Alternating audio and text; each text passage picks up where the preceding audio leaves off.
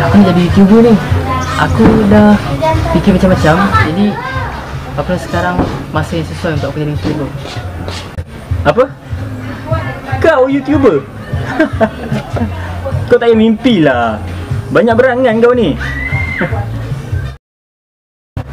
Okey? Aku bagi kau tempoh satu minggu. Buktikan kat aku. Okey? Kalau kau cakap macam tu, aku sahut cabaran kau. Kau tunggu nanti. Please.